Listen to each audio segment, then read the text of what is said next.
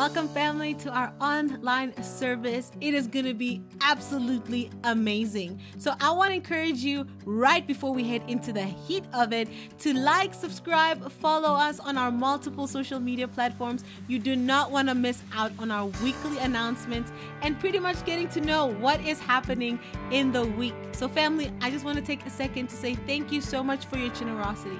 Thank you for giving and faithfully sowing into this ministry. And I just want to pray over each and every single offering. So thank you, God, that you are faithful. Thank you that you are our source and that you're a giver of, of all things. So I just want to thank you, God, for each and every single person that is sowing faithfully into this ministry and seeing it grow, God. I thank you that your blessing is over them. And I thank you, Lord, that as we're about to even go into the word, that our hearts and ears will be open and ready to receive what you have in store for us. So I thank you for your amazing, amazing, and abundant blessing in the mighty name of Jesus. Amen. Family, enjoy the service. It's going to be amazing. Tag a friend, grab a family member, sit around, and enjoy.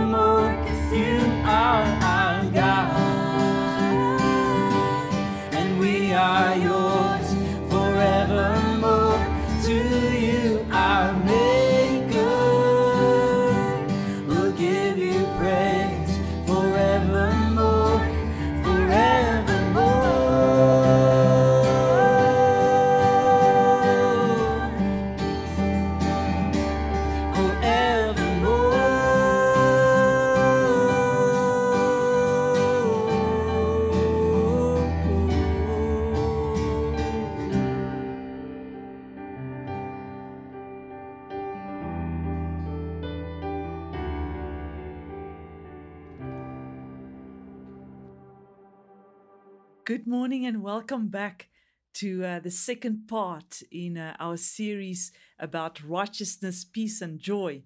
Uh, I'm going to read the scripture to you once again. It's in Romans 14, verse 17, and it says, For the kingdom of God is not eating and drinking, but righteousness and peace and joy in the Holy Spirit. Now, so far, we have settled that the kingdom of God is firstly desi- designed or defined as uh, righteousness and uh, that means that that uh, you know because of jesus christ and what he did for us on the cross he established righteousness for us. He placed us in a place that we can have access into an intimate relationship with god. It is that perfect harmony of breathing in grace and breathing out praise. The kingdom of God starts with uh, righteousness, but then almost naturally it follows, and what follows is peace. The moment we are righteous with God, then peace follows naturally. And there are different areas in our life where we experience peace. First, it's peace with God. Secondly, it's peace in ourselves and with ourselves. And then thirdly, peace with others. And I just want to briefly touch on all three of these before I'm going to enter with a practical, something practical again. So let's pray. Father, we want to come before you and and we want to pray this morning, Lord, as peace as might, might sound like something weak or it might sound like something insignificant. Lord, you knew that each and every one of us would need peace in our lives just to function, to live this Christian life. Uh, to be able to, uh, to to have energy and and to have motivation to get up in the morning. And I want to pray that you will bring a new and a fresh understanding for us when it comes to peace today. And I pray this in the name of Jesus. Amen. So I can tell you what peace is not. Uh, I experienced it one day when I lost my phone. I was uh, in a coffee shop in a town, 30, 40 minutes drive from my house. And the moment that I stopped at, at, at my house, I realized my phone wasn't with me. So, you know, I, I was asking the Holy Spirit uh, if he knew, and I was kind of hoping he would say, you know, look at in a, in your door or look at your handbag or whatever. But I couldn't find it. And I just heard these vo- words in, in my spirit toilet, coffee shop. And I just realized I left it in the in the bathroom uh, in the coffee shop. And uh, it's a, it's an iPhone 12, and I still had two and a half years contract that I had still had on this phone. And so it was for me, it was um, you know a little bit of a stressful situation. Uh, so uh, I had my friend with me, and uh, and we decided we're gonna phone my phone. First time it rang, and the second time it went to voicemail. You know when that happened. It's kind of you kind of sure that it is stolen. So I suddenly I was worried, I was upset, I was stressed, and uh, just to kind of summarize it all, I was out of peace. Not, neither my thoughts nor my emotions was in one place. It's just all over the place. I was out of peace. So I want to ask you, what is your picture of peace? If you think about peace or a place of tranquility, you know, what do you imagine? Is that uh, you know that peace sign that's on a guitar of a guy with long hair you know protesting against war uh, like they had in the 60s 70s or is it maybe you know like lying on a beach in zanzibar? Or is it when your child your children go to bed finally at night that uh, that's how you define peace you know, peace is normally that place where we say, if I can just be there, or, you know, then I will have peace, or when this is over, then I will have peace. How do you define peace? What is that place of peace? James Allen said the following He said, The more tranquil a man becomes, the greater is his success, his influence, his power for good. Calmness of mind is one of the beautiful jewels of wisdom. Uh, you know, and I was uh, doing a, a, little bit of research on on anxiety and peace, and they found, uh, you know, in South Africa in 2018, and I was deliberately looking for statistics before COVID, um, you know, just how how it looked like in our country, and uh, we found they found that in 2018 that one out of six South Africans suffers from anxiety, depression, and uh, substance abuse. If you go a little bit further and you look at the the UK, they also found in 2018 that uh, just over 6,000 people committed suicide in one year. That brings you to 16 people per day uh, that committed suicide that year. And there was a further 10 to 25 attempts uh, of people trying to take their lives. Anxiety leads to all sorts of mental health problems, but it also leads to a lot of physical diseases and physical problems. The list is long, but it includes uh, diseases like diabetes and heart attacks, heart problems. So, if we want to know it or not, each and every person, willingly or no, unknowingly, is looking for peace, looking for that place where they can just get away from from anxiety and of the stresses, um, you know, that wants to pin you in a corner uh, on on a daily level.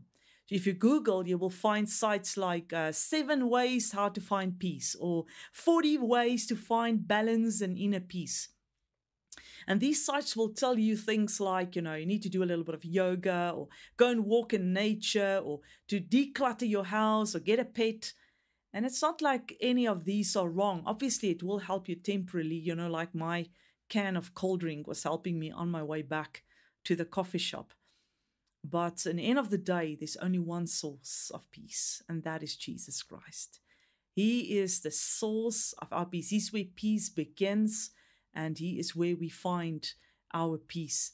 The prophet Isaiah was prophesying about Jesus, and he included a little bit of his job description, a little bit of his curriculum vitae in this verse, and it's in Isaiah 9, verse 6. It says, For to us a child is born, to us a son is given and the government will be on his shoulders, and he will be called Wonderful Counselor, Mighty God, Everlasting Father, Prince of Peace. He's our Prince of Peace, the source of where we find, um, you know, our our peace. Peace in the Greek, and I hope I translated right. It, it, it is eirene, and that is where we get the English word serene from. It's a place of peacefulness and of rest and of, of tranquility. But this word, word eirene, the, the meaning of it is to join. It's to become whole, to become together. So to have peace is to be in a place where my thoughts and my emotions are in one place. The moment I discovered that my phone wasn't with me, my thoughts and my emotions were all over the place. I couldn't figure out if I was sad or worried or, you know, oh, should I make a plan to get another phone or shall I phone or who can I? It was just all over the place. And that place of, place of serenity or peace is where my emotions and where my thoughts come together. And when that's together, that is when we can function to our fullness.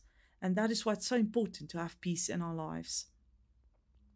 So the road to real peace, and it's I'm not talking about the temporary, you know, tranquilizers that the world is offering us, is Jesus Christ and the and the peace that He established for us and in us, you know, through His crucifixion and resurrection.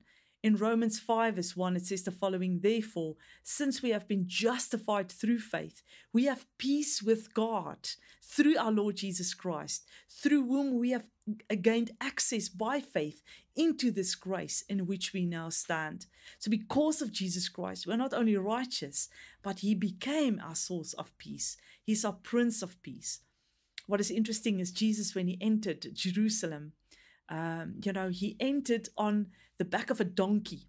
And normally they would expect someone like him, uh, you know, to enter on a horseback, because the moment you enter on horseback, you're declaring war and you're declaring that you, you're here to take over.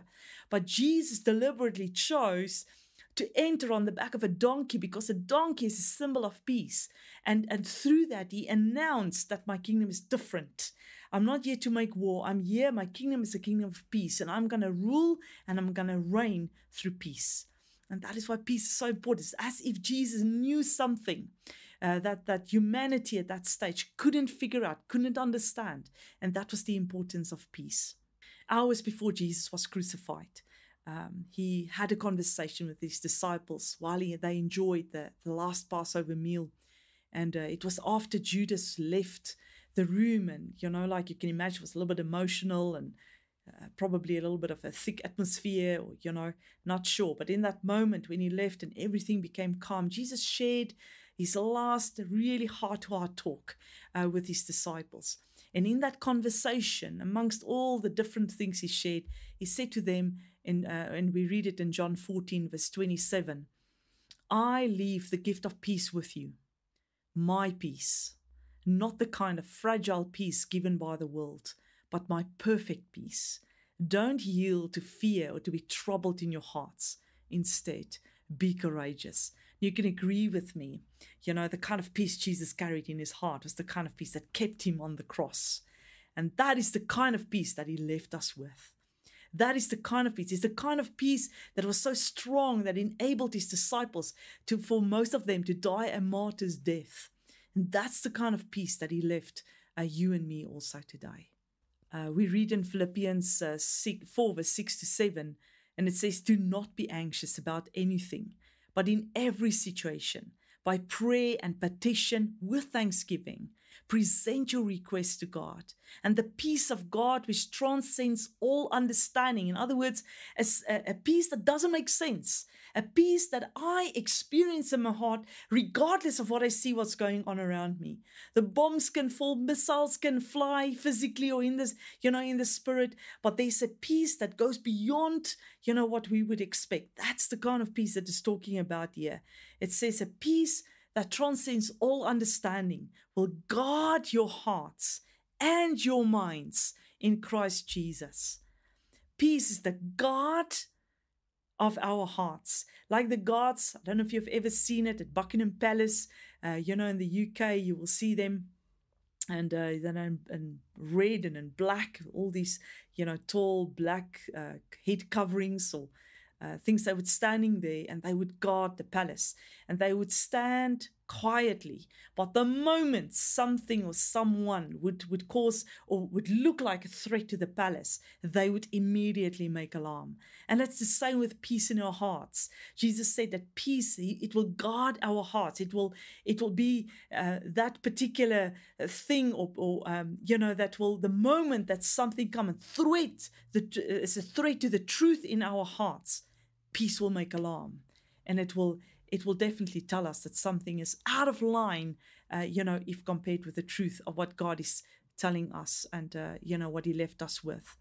The moment that there that there is a threat. So when we face a temptation uh, you know or you have to make your attempt or about to make the wrong decision uh, you know or in my case you lost something uh, doesn't matter when it is that that core truth is threatened that is when peace uh, make an alarm. So I want to uh, just kind of put a little bit practical, and then and by continuing with my story, I was on my way back to the coffee shop and. Uh, uh, you know, to see if my, my my phone was really stolen, and I had to withdraw from this bank of peace that Jesus left us with. And uh, what I found was in that moment, the Holy Spirit was telling me that it's not about I, I, wasn't anxious. I didn't lose my peace about a phone. I mean to be honest there are many shops with many phones. Phone wasn't actually the problem. What was really the problem in that moment was a core truth was written to my heart and that is that i had a fear um, for lack. I was, I was fearing lack. I was fearing, I was upset about the fact that I don't have the means to, you know, take out another contract or to buy another phone and I was um, a little bit upset with the fact that, uh, you know, God didn't protect or warn me about that. So in that moment, the Holy Spirit came and He said to me, He said, Louise, this is what is actually the reason why peace pressed the alarm is because a core truth was written in your heart. And the Holy Spirit reminded you, because of my righteousness in Christ, it, it, it, it, it, included the whole package of God's promises. And those promises include that He's my provider and that He is my protector, regardless of what's happening in my life. And in that moment, I could withdraw from the bank of, of peace and I could become calm. My thoughts, my emotions, I could feel how they are joined together again, how they came together again, and I could feel the peace of God in my heart. Know, I have to add, as I was stopping, you know, at the coffee shop, uh, you know, preparing my, you know, how I'm going to try and stay calm as I tell, I want to tell these people that I just want to check for my phone. So I walked in and I said to the cashier, uh, listen, I'm so sorry. I'm the person who just phoned. And if I can just look in the bathroom. And I couldn't even finish my sentence. And she said, oh, yeah, lovely. Sorry. Uh, you know what? We, we got your phone and we just locked it into uh, the safe. And uh, so sorry, we didn't have time yet to phone you. You know, in that moment, I was like, oh my word, you don't realize what you put me through. But I was so glad that I, I almost kissed her if it wasn't for the glass separation because of COVID, uh, you know, between the two of us. Um, otherwise, I probably would have would have kissed it. But in that moment, my peace became complete. But I was so glad that before I found my phone, I could withdraw from that bank of peace. And I think that is what God wants us to do. So for me, it was a phone. For you, it might be something different, something even worse but is to trust the Holy Spirit to recognize the main truth that was threatened in that moment and to, to allow the Holy Spirit to, for us to withdraw from that bank of peace and to, to allow God to come and bring that restoration. If we are willing to do that, if we are focused, if we are aligned to, you know, uh, uh, trusting God to withdraw from his bank of peace, we will find that it is possible, regardless of what is going on around us, to live lives filled with peace. Filled with peace. The last thing I want to focus on is uh, just peace with others.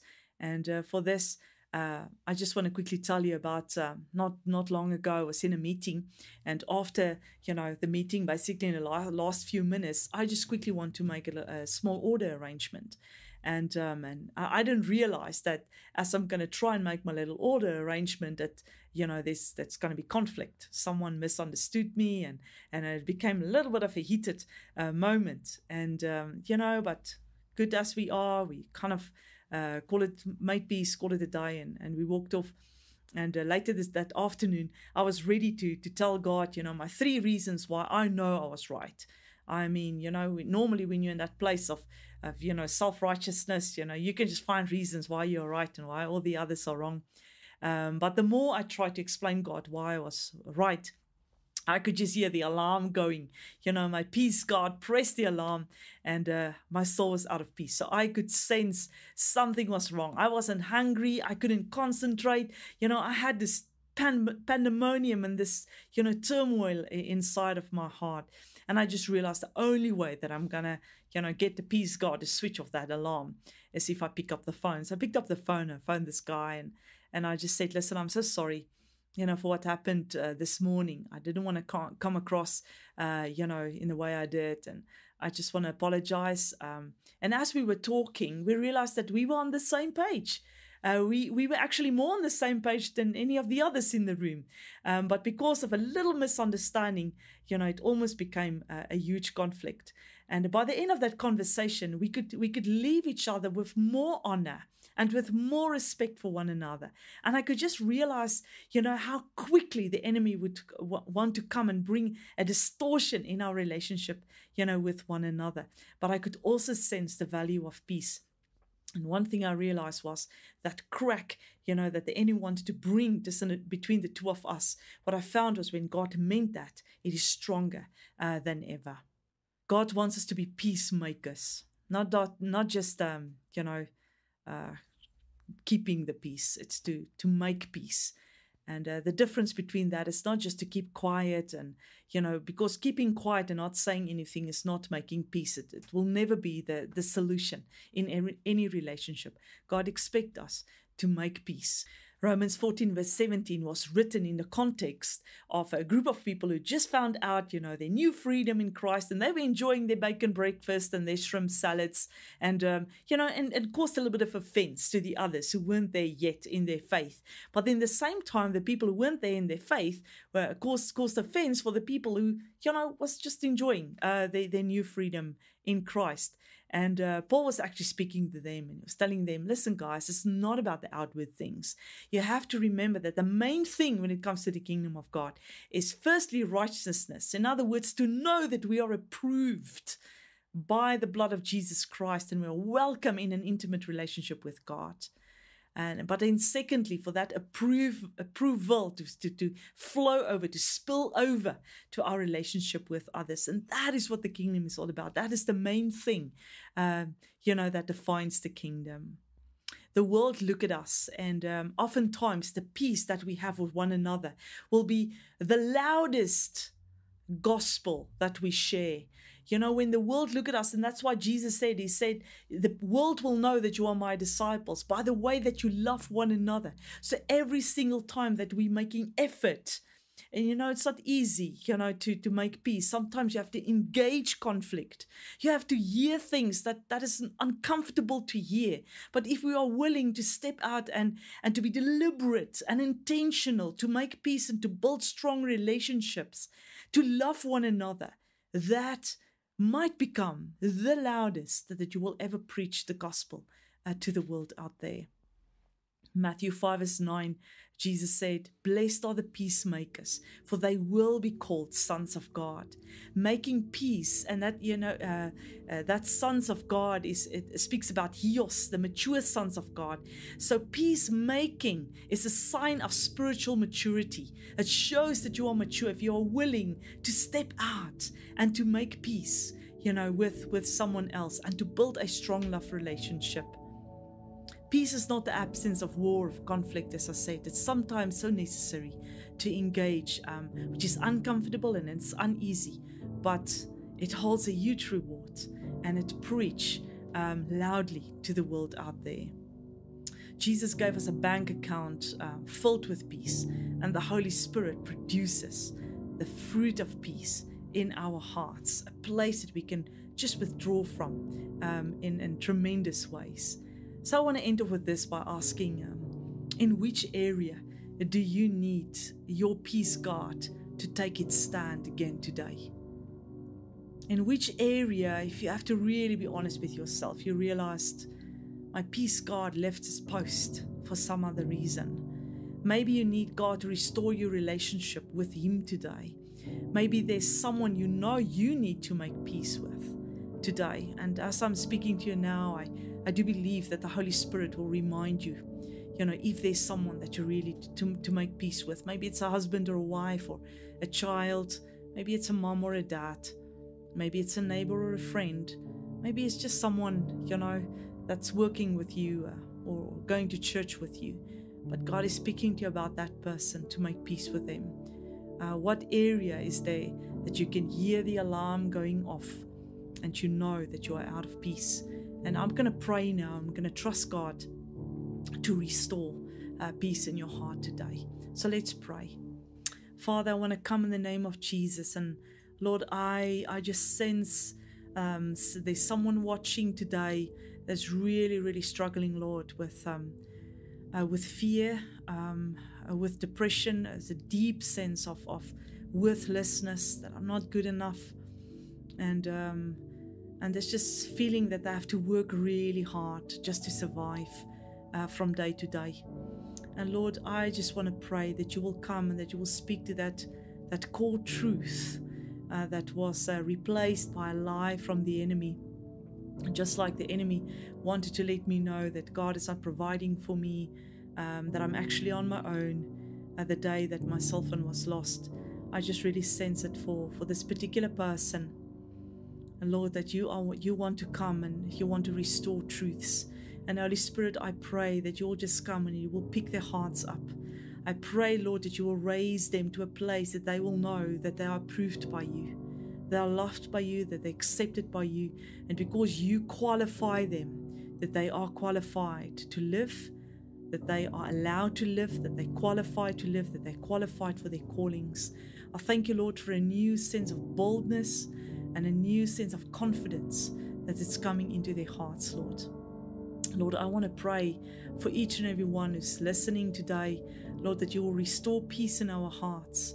Lord, that we will be the first to stand up and to make peace when there's conflict in the room. That we will be the first to stand up when there's a little bit of a misunderstanding or offense um, in, in one of our relationships, Lord. And I pray that through the way that we love one another, I pray that we will preach the gospel in the loudest and the clearest way that you intended for us to preach, Lord. I pray your blessing and your peace over each and every one. And I pray this in the name of Jesus. Amen. That was such a good word. I really want to encourage you right now. Share it with a family member, a friend, somebody who needs to hear it. It is definitely going to bless them. Family, if you need prayer or you'd like to know more about our spiritual family, check us out at our website at enfc.co.za. Get to know us, get to be part of the family. We are so excited to receive you. If you need prayer, please comment in the section down below, and we have a prayer team who's ready to pray with you right now. And then, thank you so much for joining us. We are excited for the next message next week. So tune in. We cannot wait to see you. Till next time.